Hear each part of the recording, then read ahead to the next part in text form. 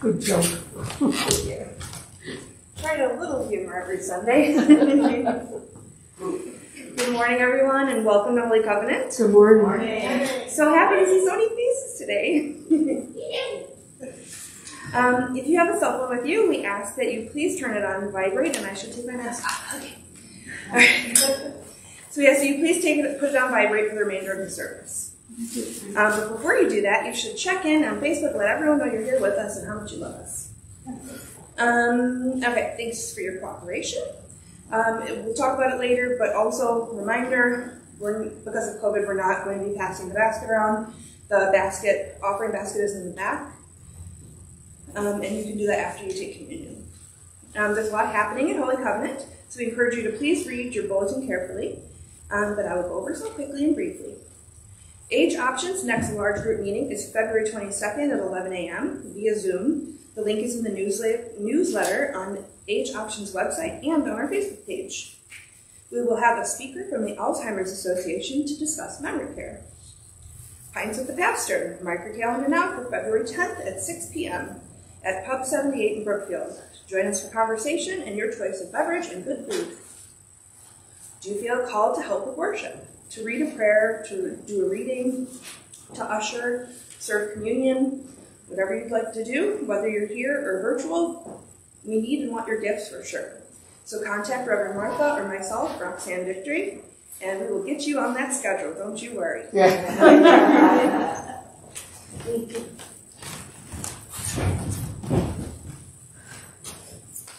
So as we gather once again, in person and virtually, uh, I invite you to join in our mission statement to remind us why we are here. Holy Covenant invites you to bring your beliefs and identities to celebrate with us as we strive toward inclusion, spirituality, Community action, and social justice. And our call to worship. O holy God, open unto me light for my darkness, courage for my fear, hope for my despair. O loving God, open unto me wisdom for my confusion, forgiveness for my sins, love for my hate. O God of peace, open unto me peace for my turmoil, joy for my sorrow, strength for my weakness. O generous God, open my heart to receive all of your gifts. And our call to worship today was by Howard Thurman, who's a well-known black uh, theologian.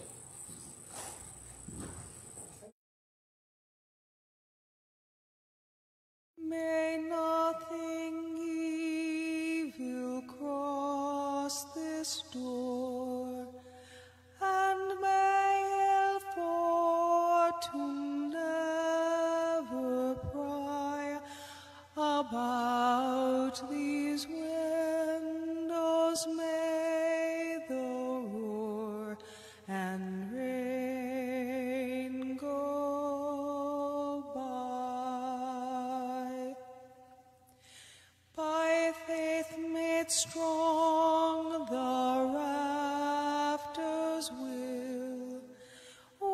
withstand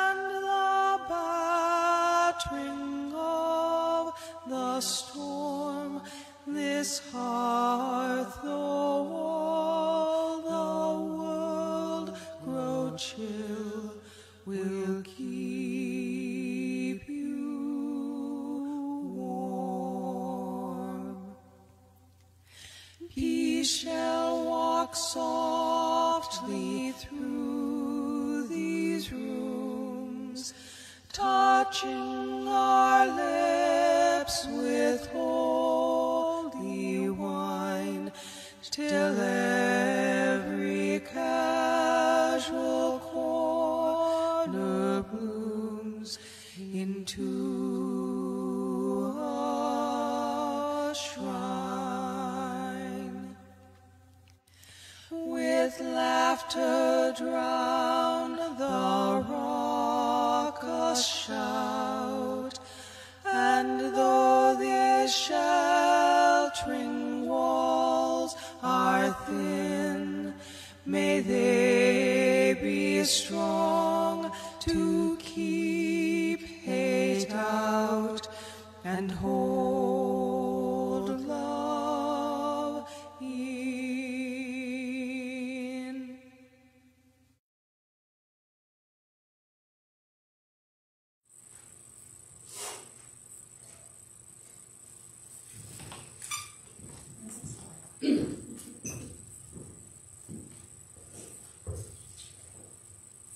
Good morning. Welcome back. Welcome back online too. Will you please pray with me? Creating one, speak to us. Use human words, human voices, human hands to reach us. May we hear in our mortal hearts your spirit speaking words of hope and comfort and guidance in all your names. Amen. A reading from the Wisdom of John, chapter 2, verses 1 through 12. On the third day, there was a wedding in Cana of Galilee, and the mother of Jesus was there. Jesus and his disciples had also been invited to the wedding. When the wine gave out, the mother of Jesus said to him, They have no wine. And Jesus said to her, Woman, what concern is that to you and to me? My hour has not yet come. His mother said to the servants, Do whatever he tells you. Now standing there were six stone water jars for the Jewish rites of purification, each holding 20 or 30 gallons. Jesus said to them, Now draw some out and take it to the chief steward. So they took it. When the steward tasted the water that had become wine and did not know where it came from, though the servants who had drawn the water knew, the steward called the bridegroom and said to him, Everyone serves the good wine first, and then the inferior wine after the guests have become drunk. But you have kept the good wine until now. Jesus did this, the first of his signs in Cana of Galilee, and revealed his glory, and his disciples believed in him. This is the word of the Lord.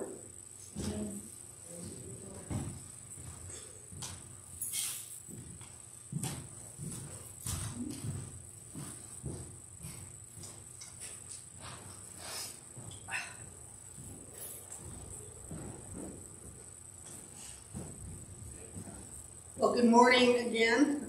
Get myself technologically.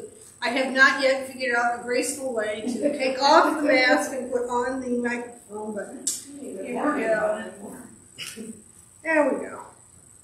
So once, once again, good morning. It's good to have you all with us, whether you're here in person or online, and welcome to our worship celebration on this first Sunday of Black History Month. And our, our message is, again, is entitled The Domino Falls. Let's see what she did for me. Mm-hmm. Oh, a rainbow, pretty chalk rainbow. Okay. Will you pray with me?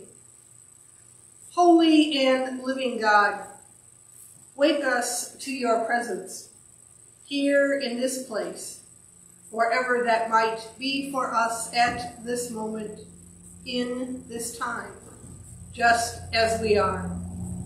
Give us strength and just enough wisdom to recognize your touch in our lives. In all your names, amen. Amen. So it is indeed good to be back in uh, person again and to share via live stream as well. One of the big debates um, on clergy Twitter uh, has been about you know whether live stream needs to continue or not, and you know I have to say I think the majority opinion is oh yeah because it's it has so very very many advantages. Um, so yeah, the watchword these days is flexibility. Uh, to be ready for anything and everything at all times, right? That's sort of the way our lives are these days. Uh, so we've moved to the hybrid worship again. Ready to be in person for those who can be here, ready to maintain live streaming for those as I can't, uh, who can't, as I said, flexibility.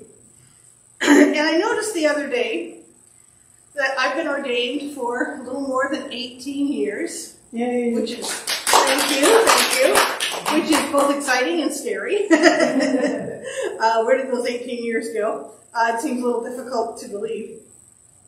But one of the things that I have learned over the years, talking about flexibility and not knowing what might happen, is that we never know when something that we say or do or have or display may have a profound impact on someone else for good or for evil. Um, I've had people tell me how meaningful, for example, a certain message was um, for them, and they felt I was speaking directly to them. And I can't even remember the message. or I do remember it, but I thought it was not really one of my better ones. All I can say is spirit moves, spirit moves. It was not me. There's a genre of uh, videos, website YouTube, video, and a lot of other places, but I think it's just fascinating. One of those things that it's it, it shows dominoes falling. Okay, and not, we're not talking about you know six in a row.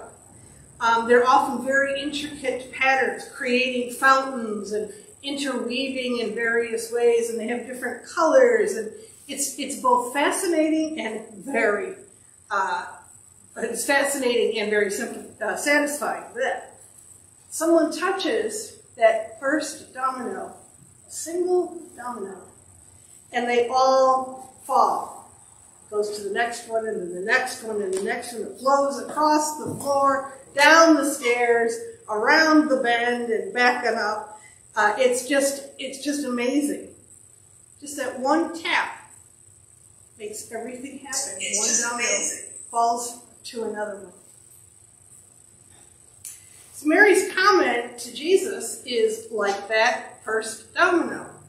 She points out a need to him, and soon there's enough wine. And then his followers believed in him, and then we don't hear it in this passage, but then he begins preaching and uh, uh, calling more disciples, and so on. Everything that happened after that sprang from that one remark of Mary's. But there are two things to notice here. One is, interestingly enough, Jesus seems reluctant. He understands Mary's hint to him. Maybe there were similar events that happened at home. Hey, Jesus, you know, I'm almost out of out of corn or out of grain. Can you, you know, bring get some some? Um, or maybe he had confided in her um, and said that he, he wasn't really sure he was ready or wanted to take on the role of, and responsibility of the Messiah. Maybe that was what was happening. And maybe Mary just saw that he needed a little human encouragement. She gave him that little tap, and the dominoes fell. The other thing is that it didn't have to happen that way. We can speculate about other ways that Jesus might have declared himself or what would have happened if the water had not been turned to wine, but we don't really know. Um, the point is that one way or another, it was going to happen, and it did. One tap of the domino, and away we went. When I preached those messages that were unknown to me, meaningful, meaningful and moving to others, it obviously could have gone another way. That person might not have come that Sunday. I might not have been there. I might have been ill, or they might not have been paying attention. But that isn't how it happened, is it? One tap, and the dominoes fell. A comment, a throwaway line, a book or picture in the classroom that lets people know they are not the only one who are gay, lesbian, bisexual, trans. Pictures that display Jesus as other than white, blonde, blue haired, blue eyed. A small gift of a door held open or flowers on a doorstep. Giving someone an opportunity to choose instead of telling them what they must do. I want us to take a moment now and think of a time when someone made a comment or a gesture of some kind and it made you think differently or feel differently. Maybe it was a compliment that made you think, oh, I can do this after all. Or maybe it was hurtful. You thought, why did they say that? Just remember it. Don't try to analyze it or experience it again. Just remember it. Hold it in your memory for a moment.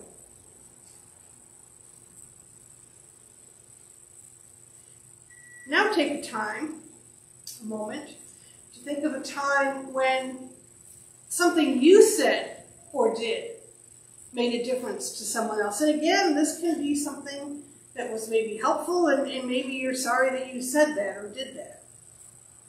You may not be able to because we often don't let people know um, how something that they said or did or shared or displayed, um, it, we don't share how that affected us, right? but we know. So again, just remember it. Whether good, hard to hear, or indifferent.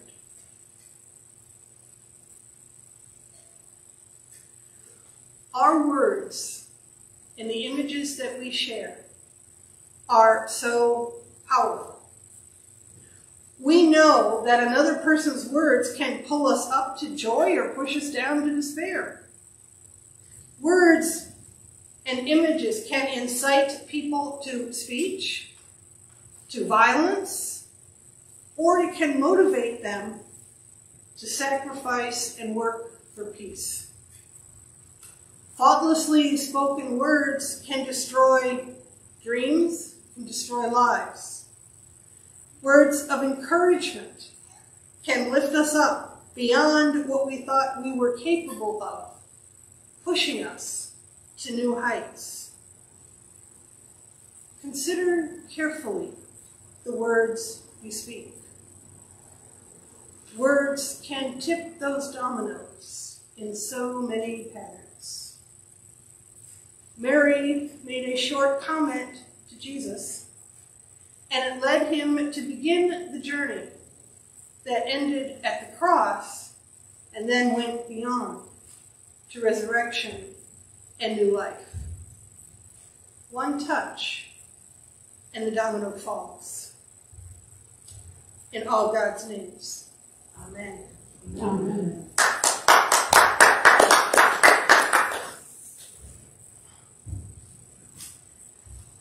So gathering as we do, as a community, both physical and in cyberspace, one of the things we do that is so powerful is prayer, gathering up the community prayers.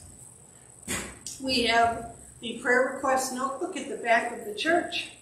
If you would like to uh, uh, record a request there, or leave it in the chat box if you are with us virtually.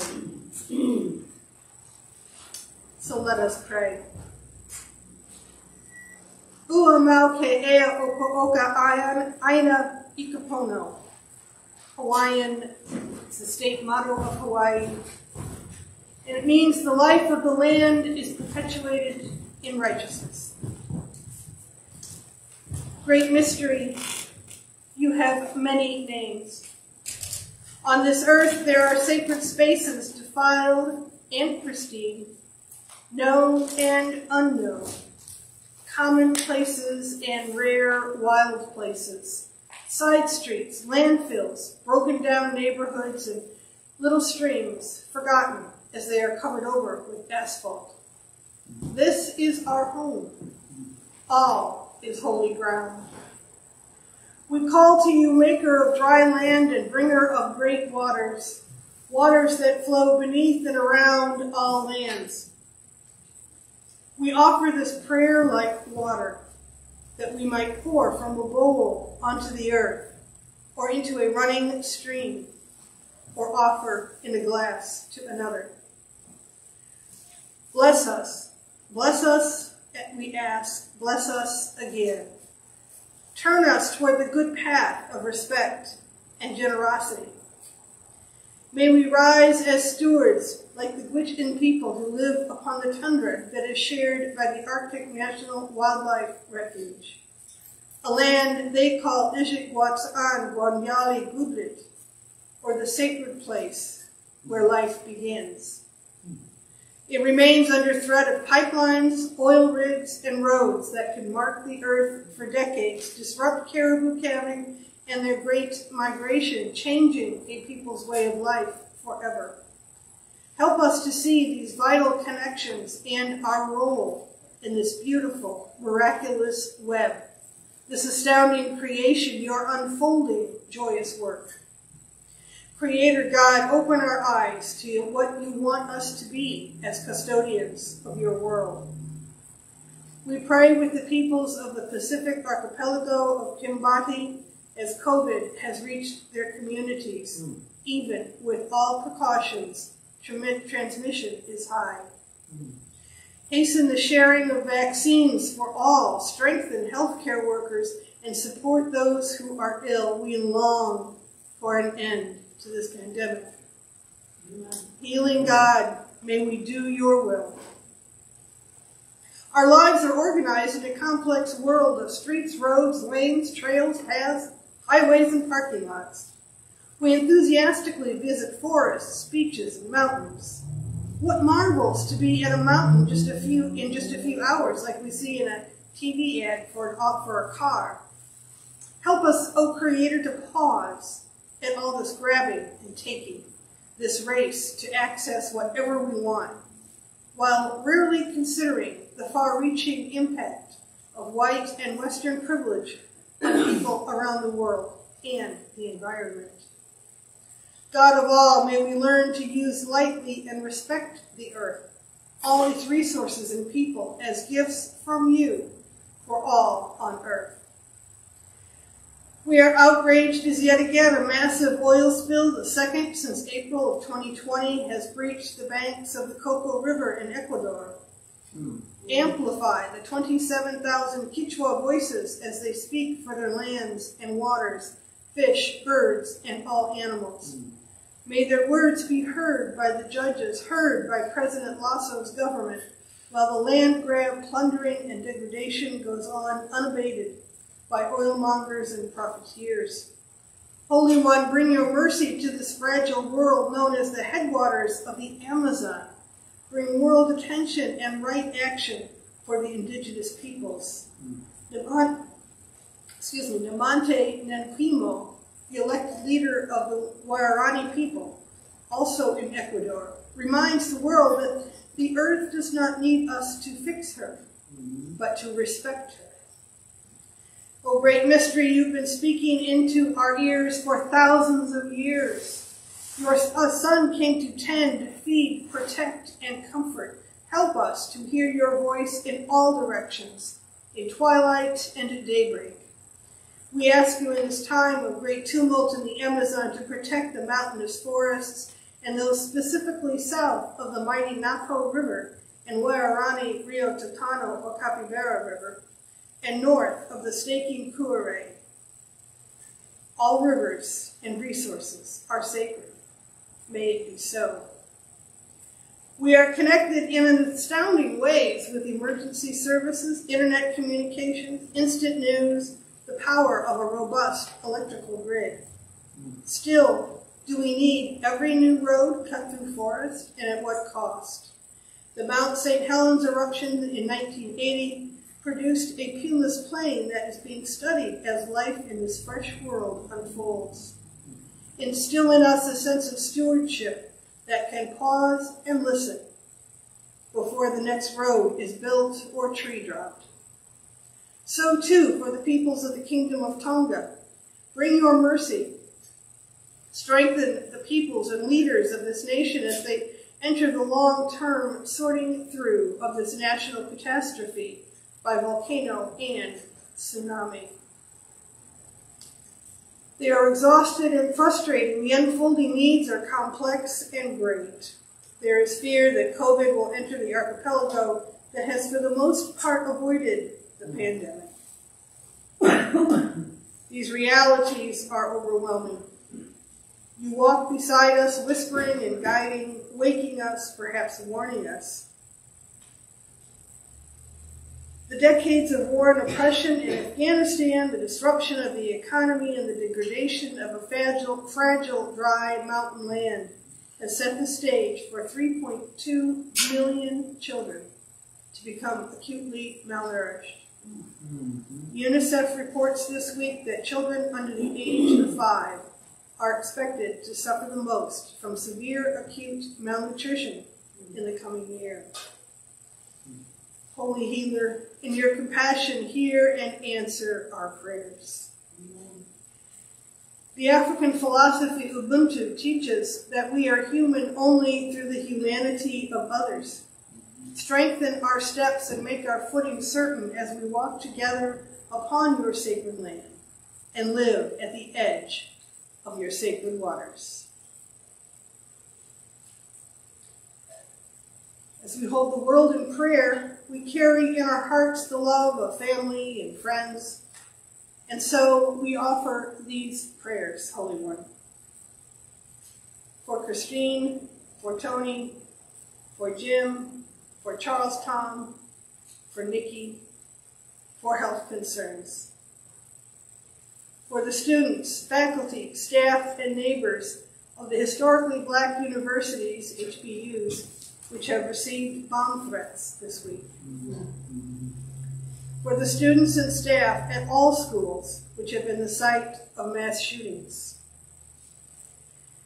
For the family and friends of Kendra Kulem, village planner for Brookfield, accidentally struck and killed by a Metra train here in Brookfield oh, on Friday. We also lift up others by name or in silence.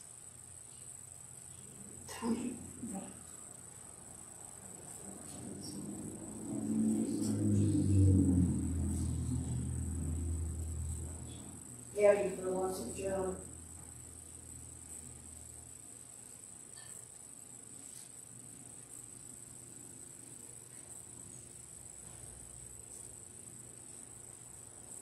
And now we lift up our voices together. Long ago, a disciple asked, Teacher, how should we pray? And audaciously he said, Pray like this Our Creator, who art in heaven, hallowed be your name. Your kingdom come, your will be done, on earth as it is in heaven.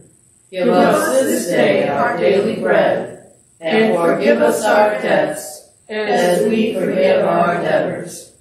And lead us not into temptation, but deliver us from evil.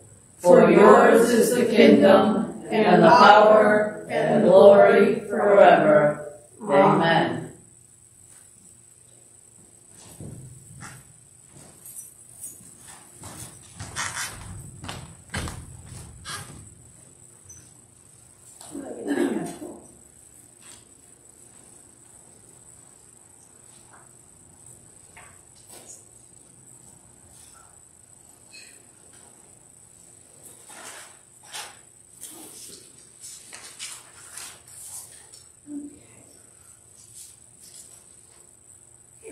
Okay, like I mentioned earlier, our giving basket is on the back table, on the back of the sanctuary. Uh, you're invited to place your gifts in the basket when you receive communion. Uh, if you're joining us online and feel called to give, we have options for PayPal and Square, as well as mailing in checks. Let us pray. Maker of all that is, we return to you a portion of all you have given us. Bless the givers. Bless the gifts that they may multiply and strengthen our work for you in this world. Amen.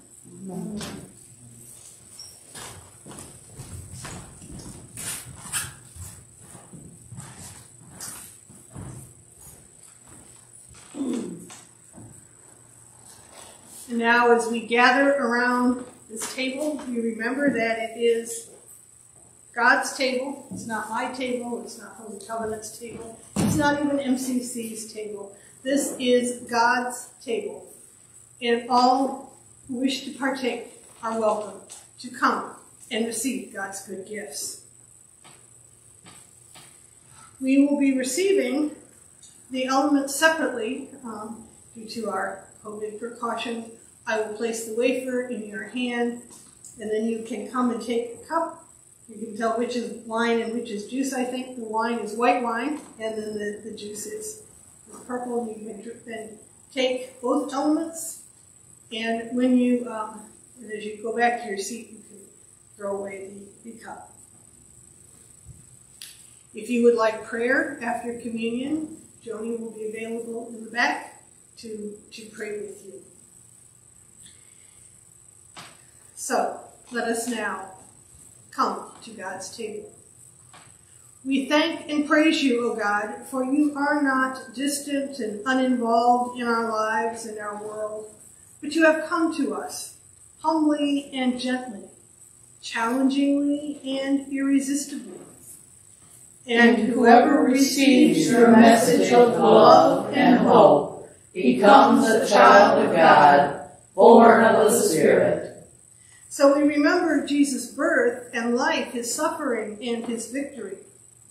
On the night before he gave himself up to the uh, powers that feared his message of love and reconciliation, he shared a last meal with his friends. He took the bread and he blessed it after the manner of his people, and then breaking it, he offered it to them, saying, This is my body broken for you.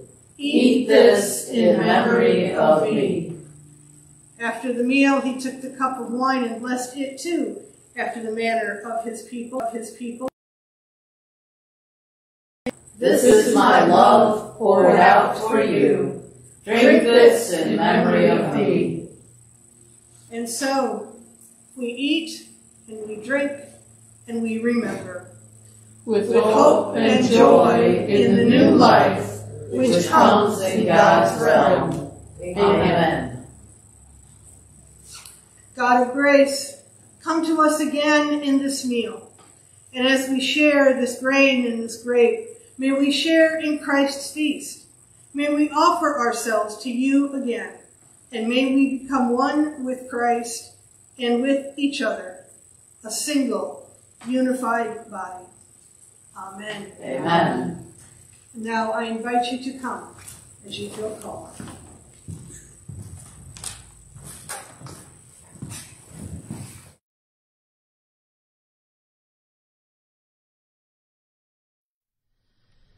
Circle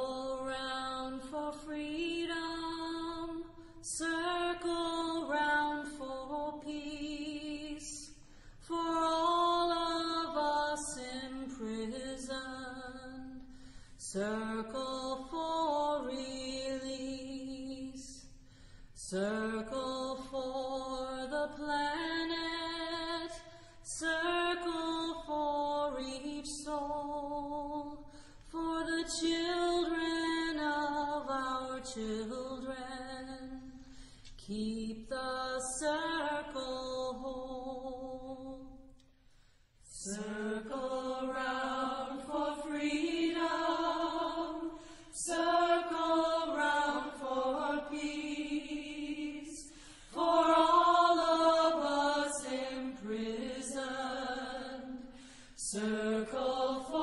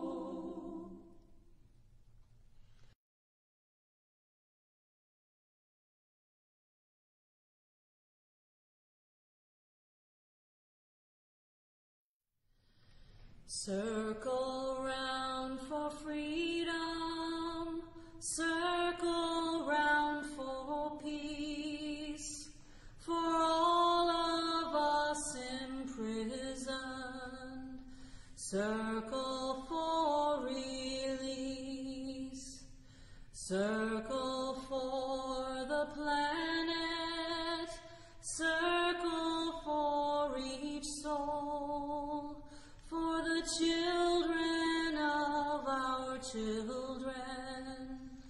Keep the circle whole. Circle round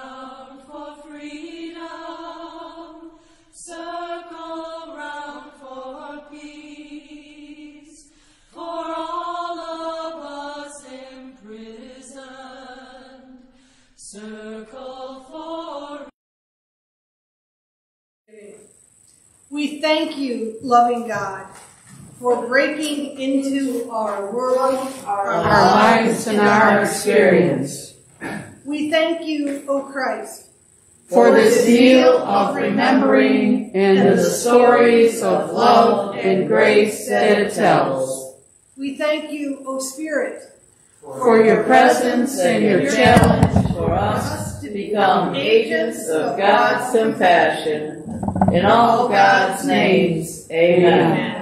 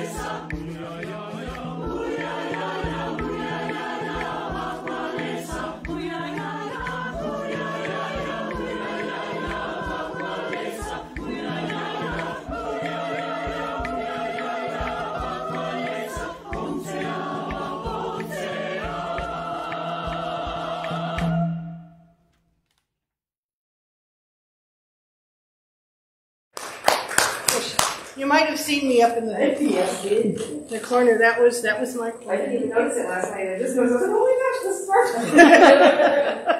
Whoops, I didn't It's copyright free, so we that's what we're doing today.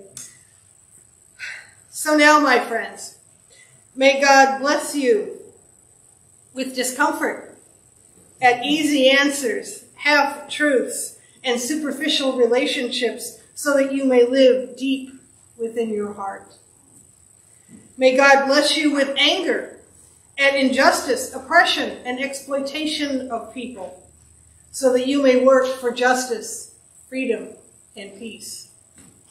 May God bless you with tears to shed for those who suffer pain, rejection, hunger, and war, so that you may reach out your hand to comfort them and to turn their pain into joy. And may God bless you with enough foolishness to believe that you can make a difference in the world. so that you can do what others claim cannot be done to bring justice and kindness to all God's children. And all God's people said, Thanks be God. Oh, favorite part of service. Good.